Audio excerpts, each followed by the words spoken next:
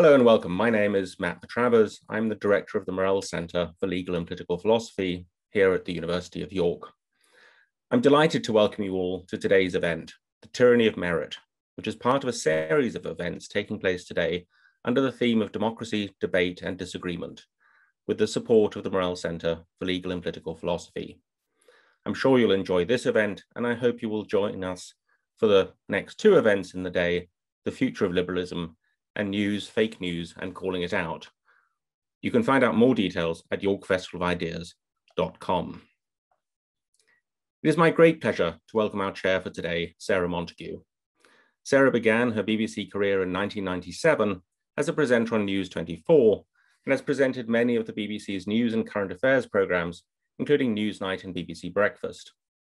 She has also been a regular presenter of BBC World's Hard Talk for 20 years. Sarah began presenting the Today program regularly in 2001 and has reported and presented documentaries and series for Radio 4, including The Educators, Cathy Come Home, and Reith Revisited. So it's an enormous pleasure to welcome her. And Sarah, over to you. Matt, thank you very much.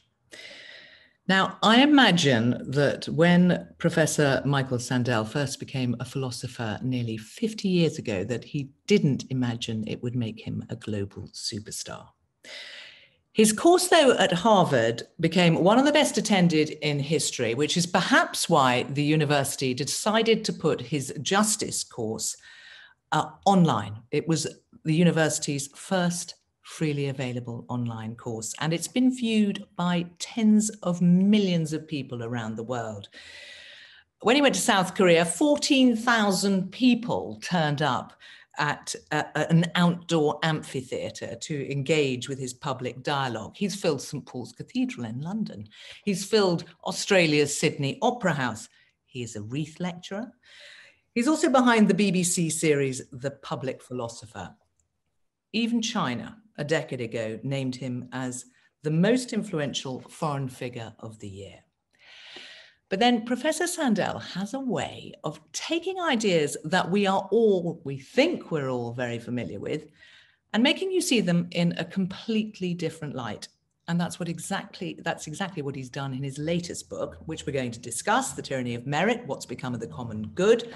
Now some of you watching have kindly submitted actually some brilliant questions so i'm going to feed them into our discussion. But i think we should not assume any knowledge. So professor sandel i want to start if i may with the thesis. Why the tyranny of merit? What's wrong with meritocracy well, first, thank you, Sarah, for being in conversation. This is a great treat for me. Merit, we normally think of as a good thing. If I need surgery, I want a well qualified doctor to perform it. So, how can merit become a tyranny? Well, here's how. In recent decades, the divide between winners and losers has been deepening, poisoning our politics, setting us apart. This has, I think, partly to do with growing inequalities of income and wealth, but not only that. I think, Sarah, it has also to do with changing attitudes towards success that have come with it. Those who've landed on top have come to believe that their success is their own doing and that they therefore deserve the bounty the market showers upon them. And by implication, that those who struggle, those left behind, must deserve their fate as well. This way of thinking about success arises from the seemingly attractive ideal of merit. Meritocracy says if everyone starts at the same starting line, if chances are truly equal, then the winners deserve their winnings. So it's possible to see how this way of thinking about success leads to meritocratic hubris among the winners, a tendency to inhale too deeply of their own success, and a kind of demoralization, even humiliation among those who lose out. And it, I think it's the combination of a kind of market triumphalist faith and a meritocratic way of explaining who lands on top and who struggles that has fed the anger and resentment among many working people that uh, authoritarian populists, including Donald Trump, were able to exploit, Sarah. Okay, but if I think about most people I know, I think they tend to have an attitude of there but for the grace of God go I. They recognize there's an element of luck in where they are. Are you saying that that's not the case or not widely enough the case? Well, you hang out with generous spirited people, it sounds. But if you look at the basic frame of our public discourse and the underlying moral attitudes towards success, uh, then I think it's possible to see how these rather harsh attitudes toward those who are left behind can be generated. And uh, it's coupled with something else, which has to do with higher education. Because during this time when inequalities were widening, what we heard from mainstream parties and politicians was the following response. Rather than deal directly with the inequalities of income and wealth and power, what they said, and this was across the political spectrum, what politicians told those who struggled with stagnant wages and job loss was if you want to compete and win in the global economy, go to university. What you earn will depend on what you learn. You can make it if you try these slogans became meritocratic mantras almost. And what they missed, these mainstream parties and politicians, was the insult implicit in this bracing advice. Because if you haven't been to university, and if you're struggling in the new economy, the implication is your failure is your fault. So this way of thinking and, and of elites looking down is almost built into the structure of the argument and Sarah of the offer. So, is there something, could you give us an example of where you've noticed that the hubris of the winners, shall we say, some evidence of what you're talking about? At the political level, I think many of the policies of austerity that we've seen in both of our countries, including after the financial crisis, reflected the idea that you can make it if you try, and if you don't make it, you simply haven't tried. It's a rather harsh notion of individual responsibility for one's fate. It flatters the winners because it tells them you did it on your own, but it also insults and demoralize, demoralizes those who lose out. But here's, here's something closer to home that I've noticed, Sarah. Over the years, I've noticed subtly changing attitudes among my students who work desperately hard and are subject to tremendous pressures to achieve throughout their adolescence to compete for admissions to competitive universities. And so, I, and I have noticed that my students do tend to believe that their admission, their success in winning admission, say to Harvard, is the result mainly of their effort and hard work. It's understandable because of the enormous pressures and anxieties that attend the years uh, preparing to compete for admission. But meritocratic intuitions, I find, run deep. It doesn't mean that they have no concern for the disadvantaged. There is very high level of public service activity. That's true. But the underlying idea is that I earned and therefore deserve my place, or by extension, the advantages that will flow to me once I graduate with this degree. Now, in, in your book, you engage actually with all the ways that the system is rigged. So to suggest that perhaps they didn't deserve their place. Right. But but in a way, it's almost like you're setting out well, at one point I'm thinking, are you saying that we shouldn't try to make the playing field level? Are we on chasing something that isn't going to resolve the problem anyway? I think we should continue to try to level the playing field, no question about it. Equality of opportunity is important. No one should be held back by prejudice or disadvantage.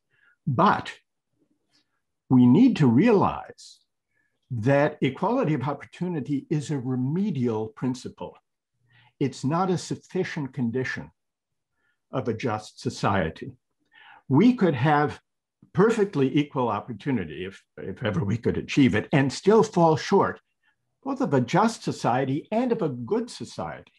Because paradoxically, the truer the meritocracy to the principles it proclaims, the harsher the judgment it imposes on those who fall short.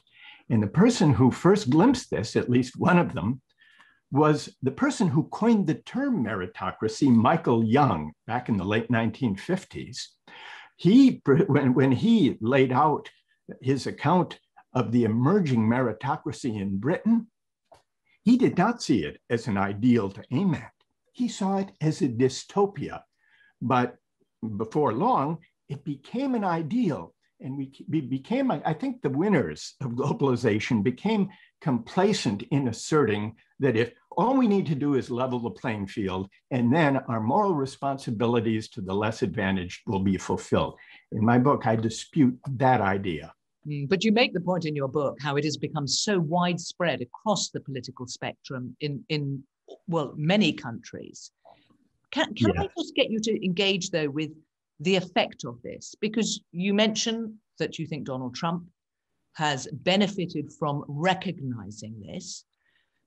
but and do you see that? I just wonder what wider effects you see that it's had on all societies. I mean, the example obviously you use a lot in the book is the United States, but do you see it in other countries? I do. In fact, it's striking that center left parties, the Democratic Party in the United States, the Labor Party in Britain, and social democratic parties in Europe have been the primary targets and uh, casualties of the authoritarian populist backlash against elites. And by around 2016, with the vote for Brexit in the UK and with the vote with Trump's election in the US, these parties, and by these parties I mean the center left mainstream parties, had become parties primarily attuned to the values and interests and outlook of the professional classes, those with college degrees, the successful, and increasingly were losing contact with, had alienated, had alienated the working class voters who once constituted their primary base of support.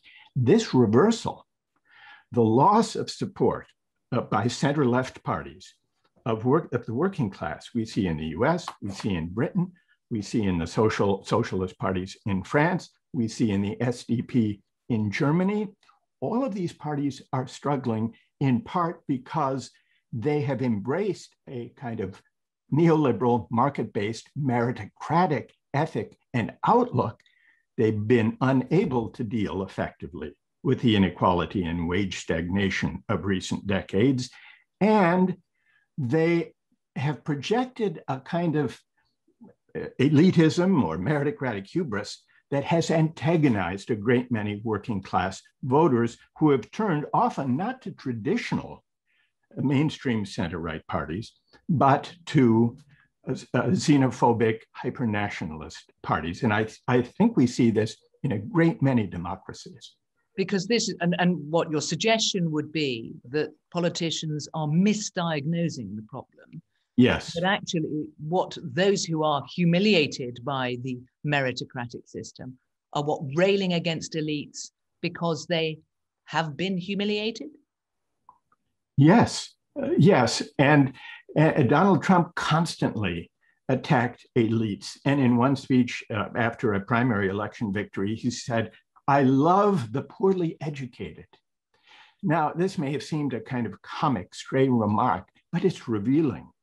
Because what the elites, the meritocratic elites, miss in their advice go to university, then through individual upward mobility, you will surmount the barriers of inequality and wage stagnation. What they miss is that most people in our societies do not have a university degree. In the US, nearly two thirds do not have a four year university degree. The figures are similar in the UK and in most European countries.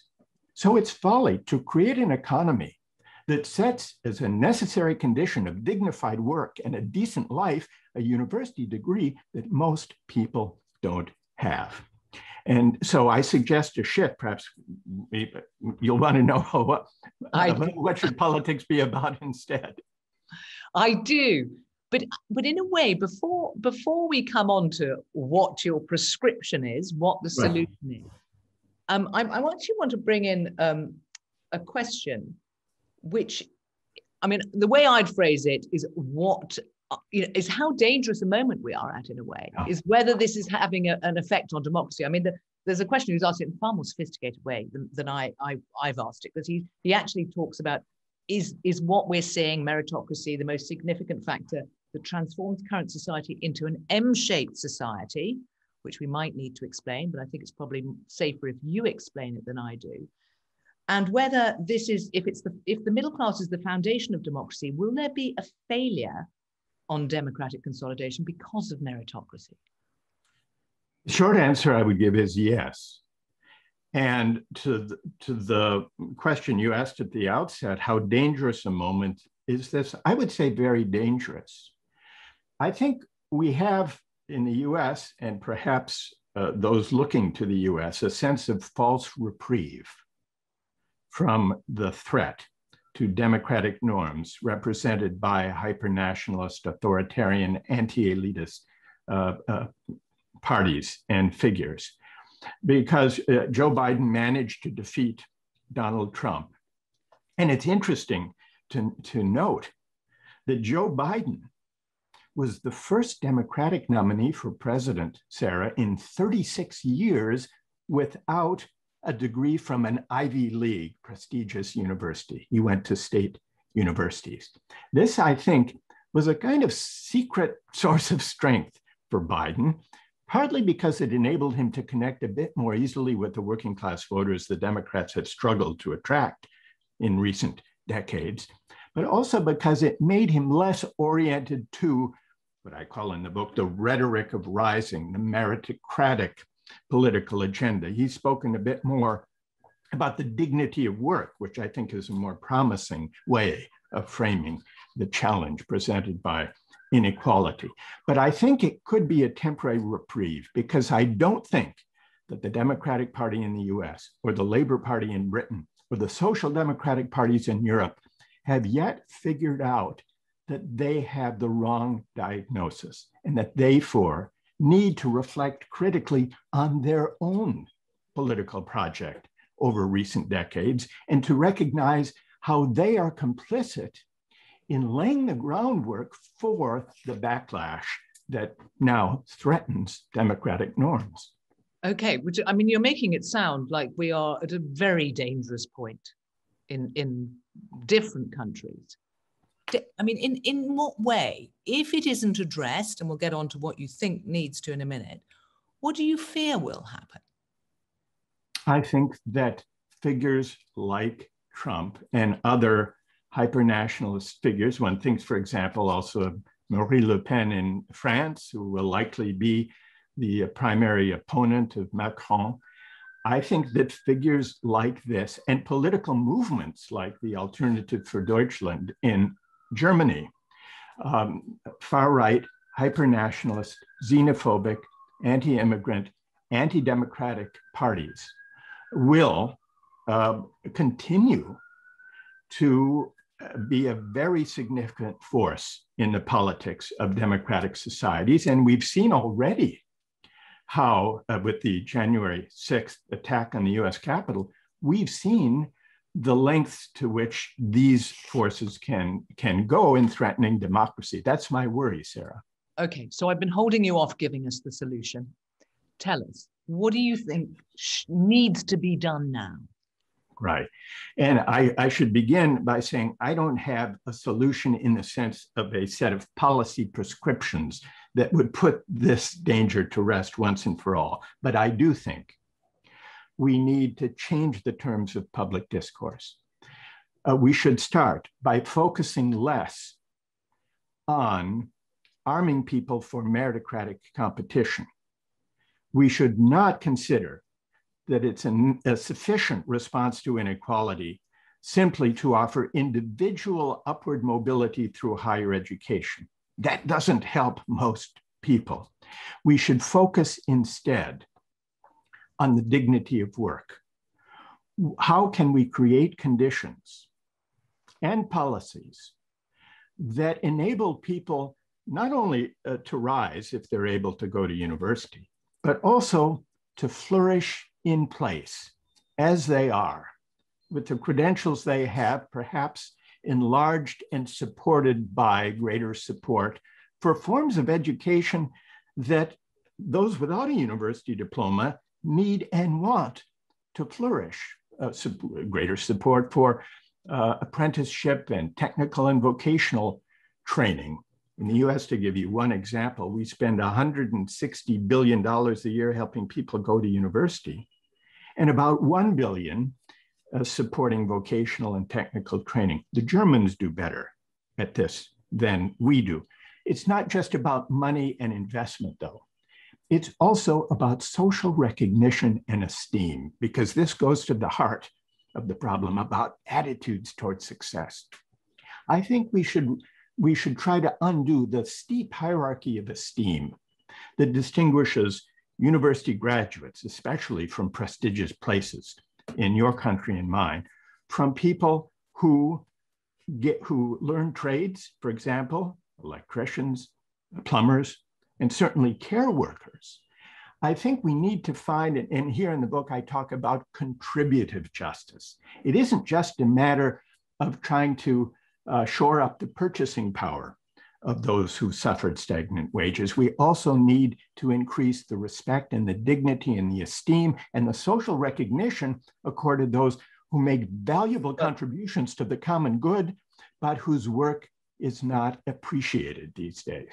Well, if we haven't had a wake up call with the pandemic and, and key workers and suddenly realizing the importance of delivery drivers and shopkeepers, but it makes me think that given that we're talking, and, and, certainly politicians have talked all along about the equality of opportunity, one naturally thinks, well, maybe we should be looking towards equality of outcome, or at least raising the minimum wage, perhaps introducing a maximum wage.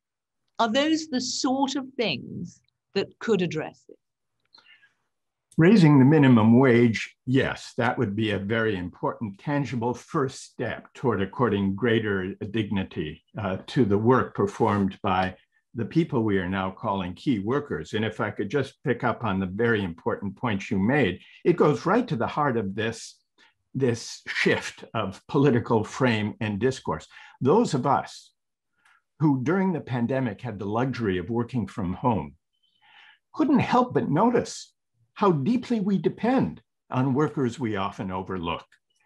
Delivery workers, warehouse workers, lorry drivers, care workers. These are not the best paid or most honored workers in our society, but now we are calling them key workers, essential workers. So this could be a moment for a broader public debate about how to bring their pay and recognition into better alignment with the importance of the work they do.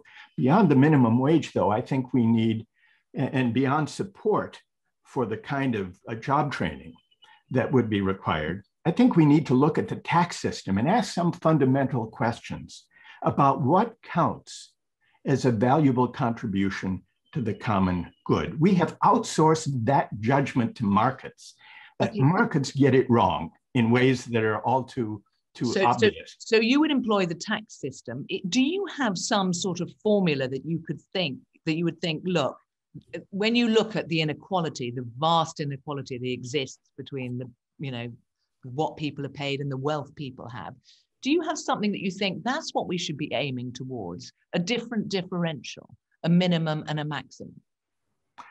I don't have a formula, but uh, except for a morally more robust public debate about whose contributions matter most, with concrete examples and concrete tax policy proposals to spur the debate. Let me give you a concrete example. uh, a care worker, a nurse. If we accept the labor market's verdict on whose contributions matter most to our society, the care worker and the nurse contribute hundreds of times less value to the common good than a hedge fund manager. But I think even the most ardent free market advocates would acknowledge that that can't be right. That can't be right as a moral matter. So, how could we?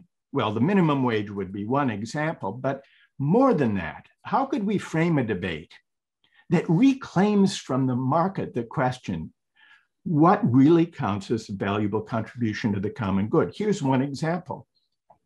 Suppose we have a debate about whether those who make uh, their money from dividends and capital gains, why should they be taxed at a lower rate in many instances than uh, the money people make through work, the work they do? That's a fundamental question. It has concrete implications for tax, but it also has big moral implications if we frame this as a political debate, not just about the burden of taxation, distributive justice, but also as a debate about contributive justice. Who really is worthy of greater esteem than the market would seem to confer? And I would uh, add uh, as a further framing question about tax, what about a financial transactions tax? Much financial activity. Arguably the majority of financial activity, and finance has ballooned as a share of GDP and corporate profits, much of it has nothing to do with the basic social purpose of finance, which is to invest in the real economy, businesses, companies, factories, schools, hospitals, roads, and so on. Much of it consists of casino like speculation on the future prices of often contrived derivatives and, and financial devices that has very little to do with economic growth, with productivity, or with the common good. Isn't what a nurse does more valuable than that? Well, if we proposed shifting taxation from work to, say, a financial transactions tax, Sarah, we could have that broader debate. It's not a formula, I admit it's uh, my argument is for something I think more ambitious than a formula. It's shifting the terms of public debate and bringing these moral questions more directly to bear. Okay, well, there. Let me a few questions from uh, the audience. With the trend of globalization, all of us inevitably have to compete with others from all over the world. Uh, they go on to say, however, merits and talents are not the decision we can make. So how do we reduce the resent from, resentment from others who lack resources because of their socio-economic status? I mean, there's a number of things wrapped up in there, but uh, globalization is not going to go away and the competitive element of it isn't either. That's true, but there are many ways that countries uh, can, and terms on which countries can trade with one another. And it's up to the countries themselves how to deal with the fallout. We were told when the project of market based or neoliberal globalization got going, we were told, yes, there will be winners and there will be losers, but the gains to the winners will be more than enough to offset, to compensate the loss to the losers. We were, we were told that through the 80s and 90s. But what happened was almost all of the gains went to the top 20%.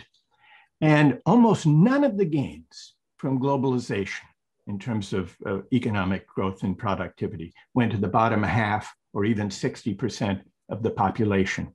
So the issue isn't whether countries should trade with one another or, whether globalization uh, should proceed. The question is how to allocate the economic effects of new patterns of trade. And what's happened is the compensation hasn't occurred in part because uh, powerful economic interests who benefit from leaving the gains where they fall, where they lie, uh, have been able to capture political influence and power to prevent that happening. Okay, which brings me on to uh, another question. How do you change such deeply held beliefs around ideas of success when those in power are products of the system? Well, that's a very good question. And it isn't easy. Uh, I think that, uh, that we can reflect together in, in conversations and arenas like this to try to prompt a broader kind of public discourse. But I think it takes more than talk, uh, though I think reflection and, and public debate are crucial. It also takes social movements and social activism within civil society to begin to organize politics within civil society around some of these questions.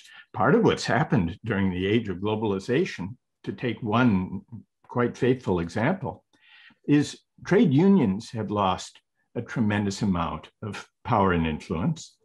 Um, and we need to find ways to give voice, effective, meaningful voice to working people and more broadly to those, to the 50 or 60% who have not gained much, if anything, of the bounty of the, the globalization that we've had in the over the last four decades.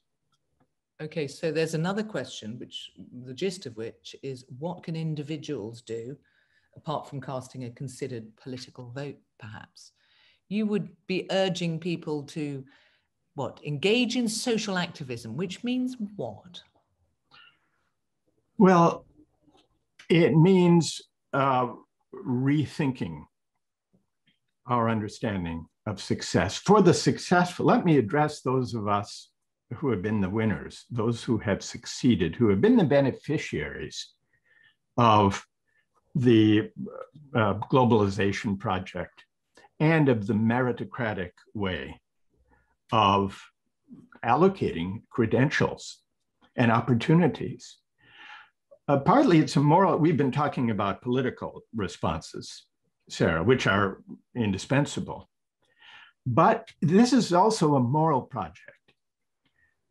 I, it seems to me, and part of the purpose of my book is to call upon those of us who have succeeded, been the beneficiaries of a meritocratic, market driven society, to begin to reflect more than perhaps we do on the meaning of our own success, questioning our meritocratic hubris.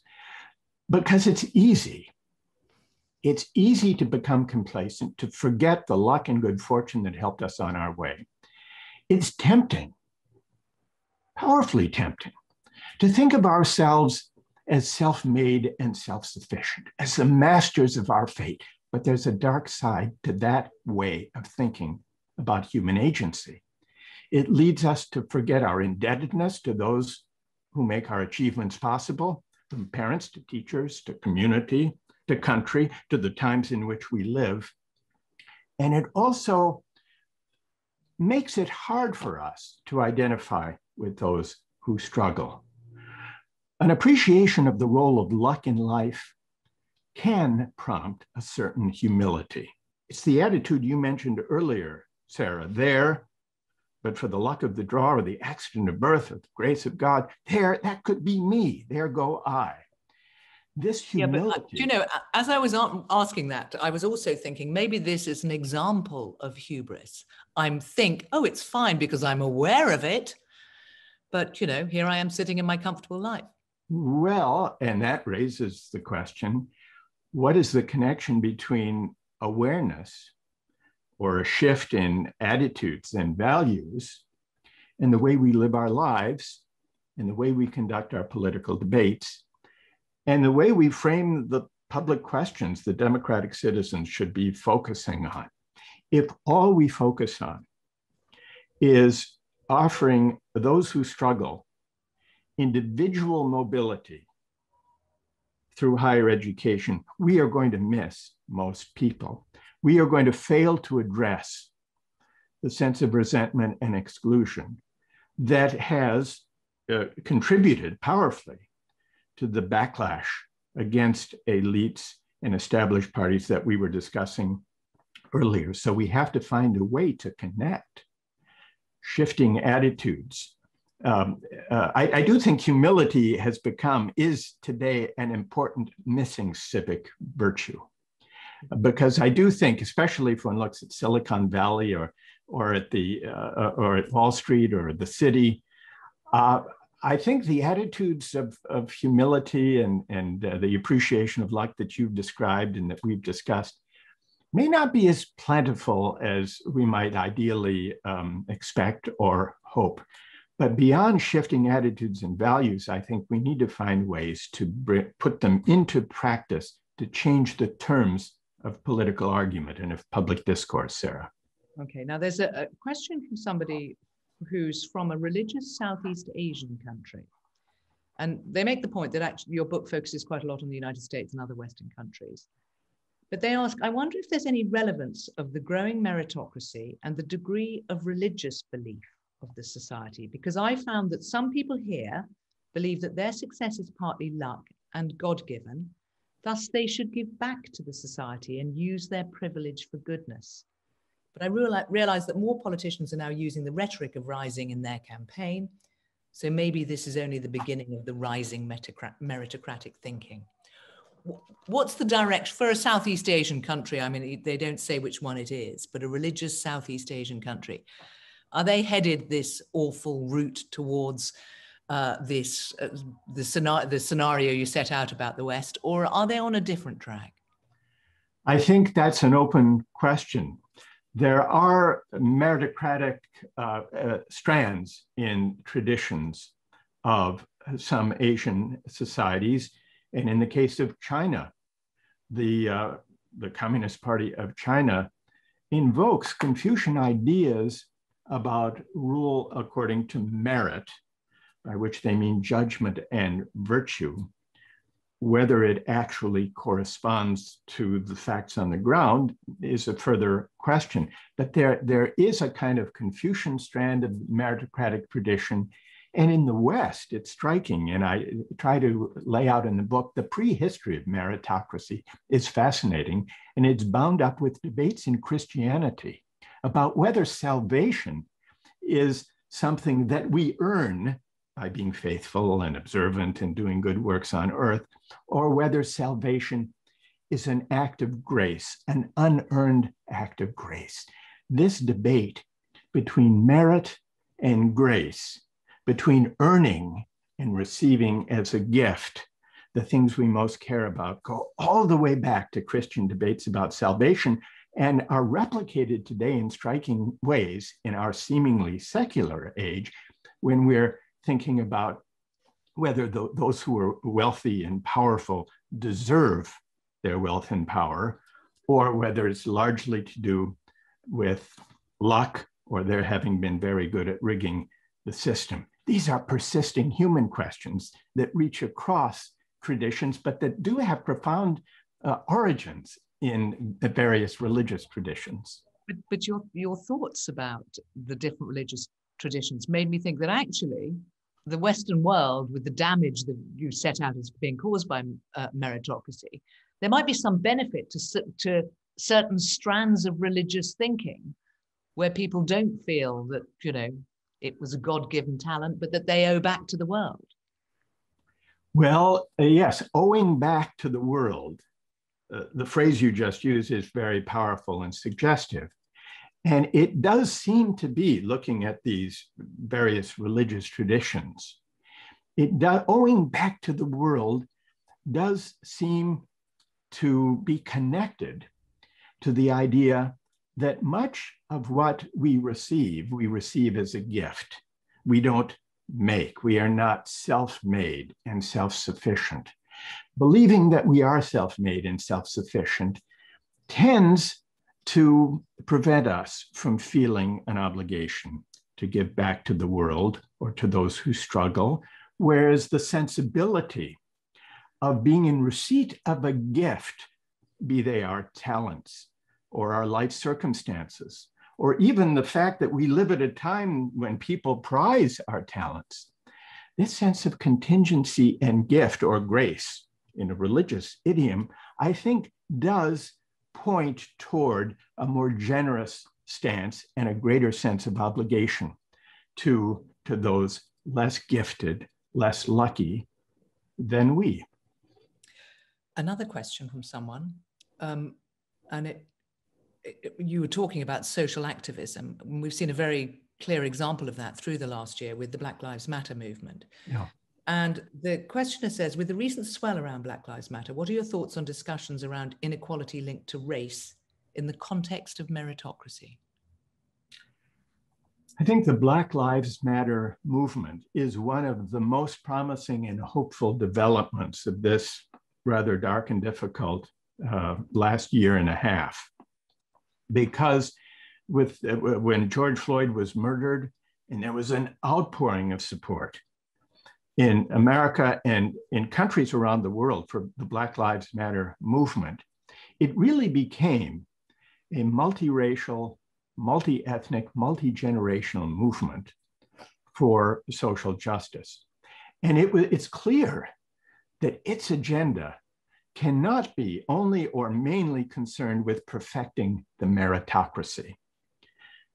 That's important, an important element of racial justice providing truly equal opportunity and overcoming racism and disadvantage. But it's far from sufficient. What prompted the outpouring of support, after all, was the persistent violence by police officers against unarmed African American men. So, police violence, a very high incarceration rate, these are not questions that can be solved by perfecting the meritocracy. These are injustices that have to be dealt with directly. And so I think we need to take up questions of race, racial justice, but also economic justice together, not as separate, cabined projects. And I think there is a tendency for uh, some who have some who have enjoyed great success uh, in the economy to uh, say Trump's support comes only from his racism. And the people who support him are only supporting him because they like his racism. I think that's too narrow a view. But more than that, it lets elites off the hook because it says the only problem is racism uh, that, that Trump is appealing to. And the problem is not that we've created an economy that doesn't meet the needs and, in fact, actually insults a great many people. So I think we need to think about racial justice and class and economic justice together, Sarah. Okay. Um, I, I, want to just return to one of your solutions, which is the idea of, of developing systems for those who don't go, don't want to go to university, wouldn't be appropriate, and you suggest things like apprenticeships and investment in uh, more technical roles, using yeah. Germany as a good example. Aren't you just setting up a parallel meritocratic system in outside the academic one?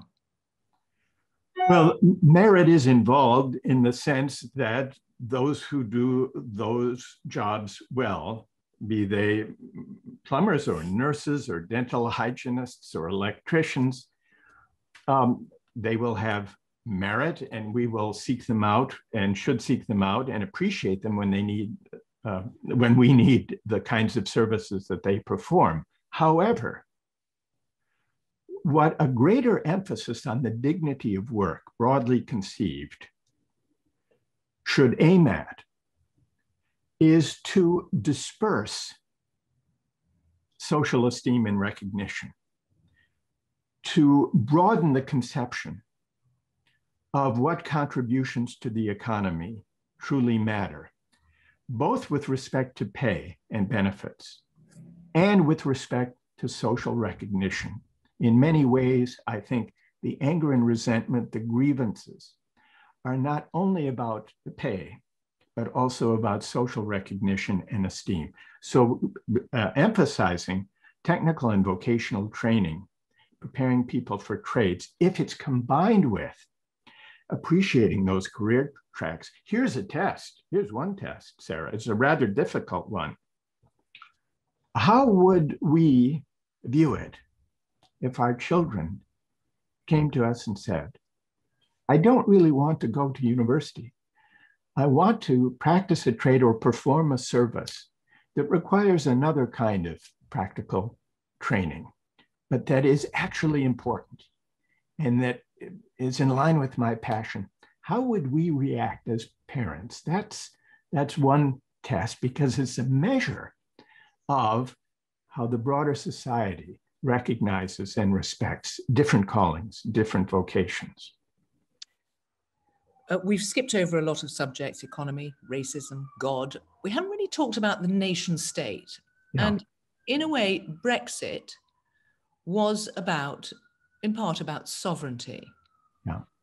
And, and of course, we have a prime minister who then talks about leveling up. And I wonder whether you see that, I mean, particularly since some of the, the, challenges are from globalization, whether this uh, a return to sovereign control of a nation is actually helpful in terms of the sort of things we're talking about? It's a complicated and important question, Sarah. I would say that what we can learn from the desire for sovereignty that finds expression uh, in Brexit and finds dark problematic expression in the xenophobic strands that we've seen in the, in the politics of some uh, right-wing populists. Sovereignty is at stake, national sovereignty. But there's more to the, to the appeal of the nation than sovereignty itself. There's also the question of identity and community, patriotism. You mentioned earlier how some of the center left parties have lost credibility with a great many working class people. And I think this has partly to do with their embracing the globalization project in a way that also implicitly embraced the superiority of cosmopolitan identities, cosmopolitan global identities, at the expense of national community and responsibility. And part of what I think makes people feel that elites were out of touch is the sense that those elites had more in common with their professional counterparts, their meritocratic credentialed counterparts, half a world away, than with the people around the block or who lived on their street. And that the and that the special kind of care and commitment to one's fellow citizens and to the national community was was attenuated at best and maybe disparaged implicitly.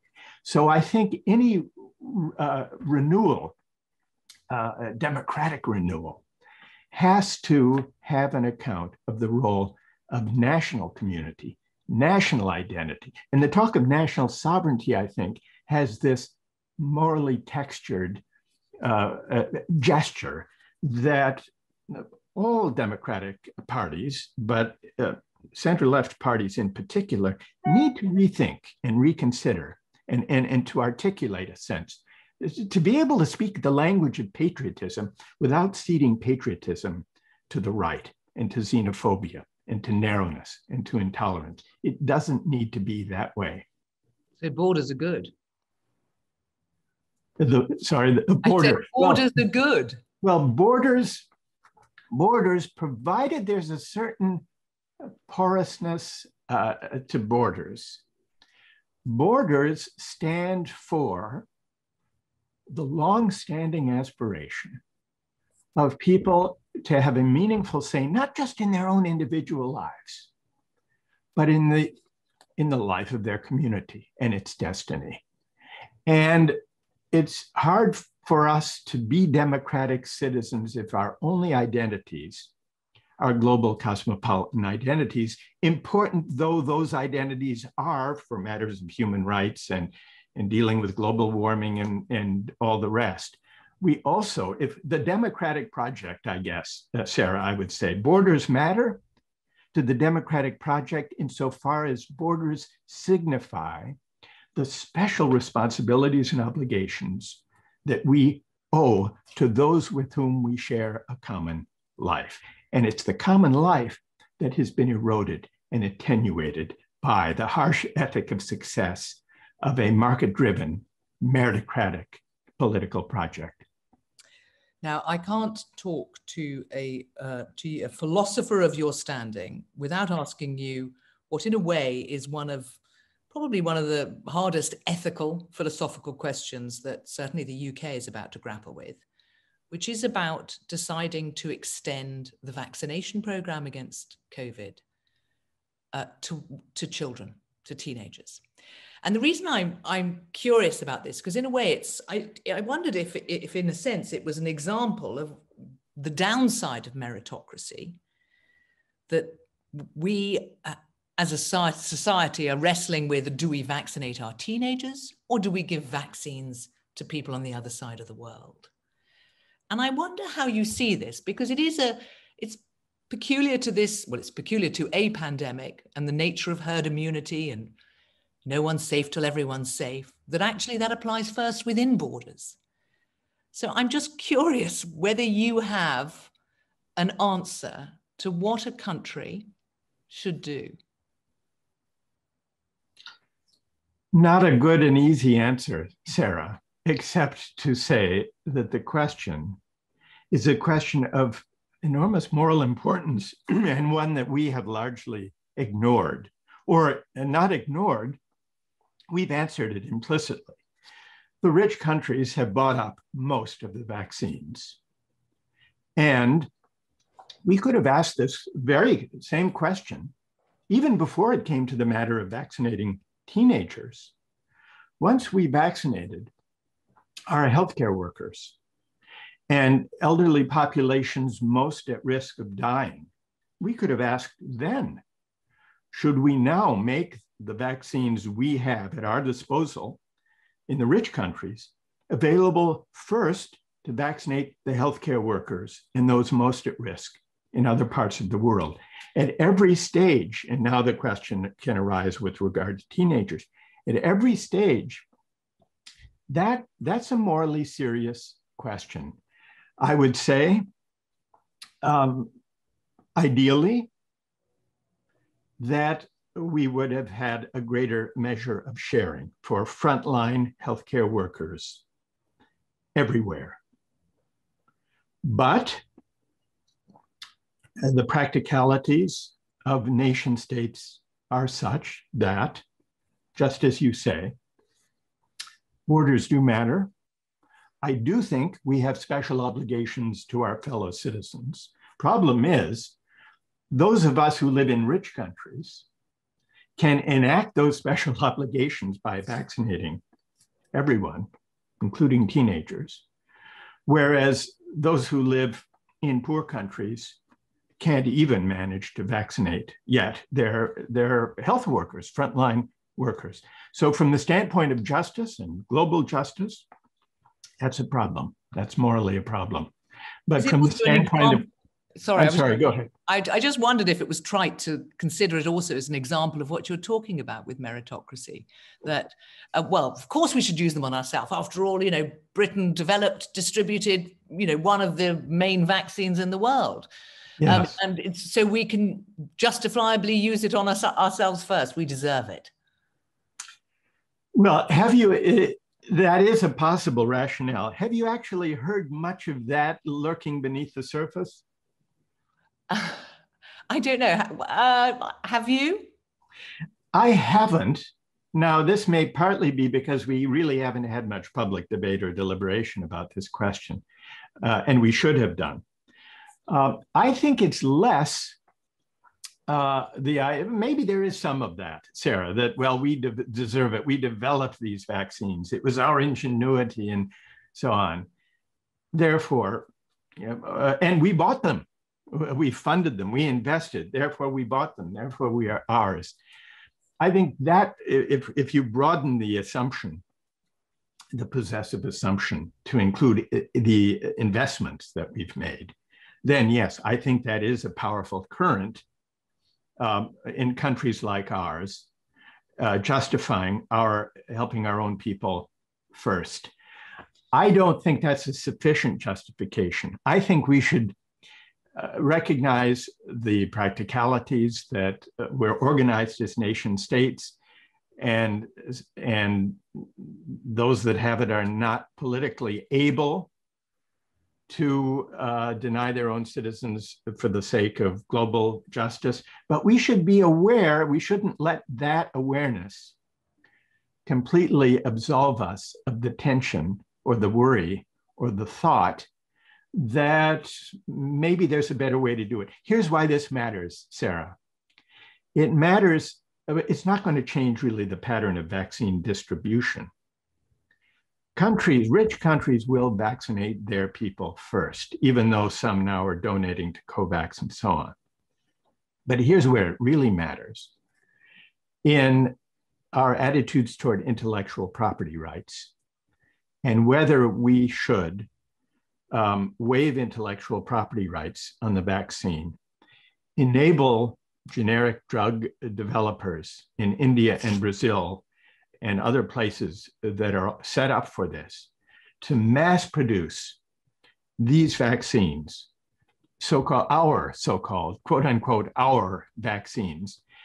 That I do think is a tangible way of giving expression to this broader uh, sense of global justice. And we are very reluctant to do that. A final thought you paint a pretty gloomy scenario when you're talking about the false reprieve of uh, President Biden being elected, a dangerous moment because the solutions, the political class doesn't recognize the solutions to the concerns you lay out. So, are you pessimistic about what is going to happen to the democratic world? I would distinguish, Sarah, between uh, optimism and hope. I'm not optimistic because I think that the forces in play and the anger abroad in the land persists unaddressed. So I am not optimistic. But I do have hope. And the hope consists in well, we spoke about the Black Lives Matter movement and other social movements, rethinking that the pandemic may have prompted about the important contribution made by key workers and how ill supported they are. And maybe that can point us to a broader public debate. The other source of hope is I find a restlessness, especially among the younger generation, with the existing the, the, the existing hollow terms of public discourse. I, I find wherever I go, especially talking to young people, a hunger for something better, a better kind of pub, uh, uh, public discourse that addresses more directly the kinds of questions we've been discussing today. What makes for a just society? What do we owe one another as citizens? What should be the role of the nation state in a global society? What should be the role of reach and markets? What does it mean to be a democratic citizen? So the hunger is there. The question is whether we, by we, I mean those of us not only in politics, but in education, in the media, in civil society, can find a way to shift the terms of public discourse, to rebuild class mixing institutions in our everyday life so that this hunger, this desire for a better kind of public discourse could begin to find some public expression. Professor Michael Sandel, thank you very much. Thank you, Sarah. Thank you so much. Thank you very much. But before I turn to the, the formal vote of thanks, just a reminder to the audience that today's focus day is about democracy, debate, and disagreement. And Michael has laid out, as Sarah was just saying, both the degree of fragmentation and the degree of danger at this very moment. So please join us later today at two o'clock when we talk about news, fake news, and calling it out with speakers including Dorothy Byrne of Channel 4, formerly of Channel 4 News, and then at five o'clock on the future of liberalism with Timothy Garton Ash. Now let me turn to the vote of thanks. It's slightly peculiar to give a vote of thanks after that lecture, because of course we now know, if we agree with Michael, and I think we should, that uh, Sarah's forensic intelligence and Michael's erudition are as much down to luck as down to their in, intrinsic merits. But fortunately, I don't have to decide on their market remuneration. I just have to be a good host and thank them. Uh, and it is easy to thank them. I, am not often starstruck, but as a, as a lifelong listener to, to Radio 4, I am so conscious of how uh, grateful we should be in this country to have journalists like Sarah, and I'm so pleased that she could join us today. I started my PhD in political philosophy at the heyday of what was then called the liberal and communitarianism debate, in which Michael was a significant player. So he's been on my desk in, in book form and in other forms for all of my professional life. Um, I think you'll all agree with me. It was obvious today why he's not only made a name for himself amongst professional philosophers, but has succeeded where many of us have failed in bringing philosophy genuinely to the people. And that's not just because he is so good at communicating, it's also because he's so good at applying philosophy to real world problems, whether that's problems of meritocracy or of why we shouldn't have markets in organs and so on. He has many, many books, and they're all worth reading. I am so grateful to you, Michael, for coming. For those of you in the audience who want to read his latest book, please do go to the York Festival of Ideas bookseller, foxlanebooks.co.uk, and follow the Festival of Ideas link. And all that remains for me now is to thank you, the audience, for attending today, and hope that you'll be able to join us later for more democracy, debate, and disagreement. Thank you very much.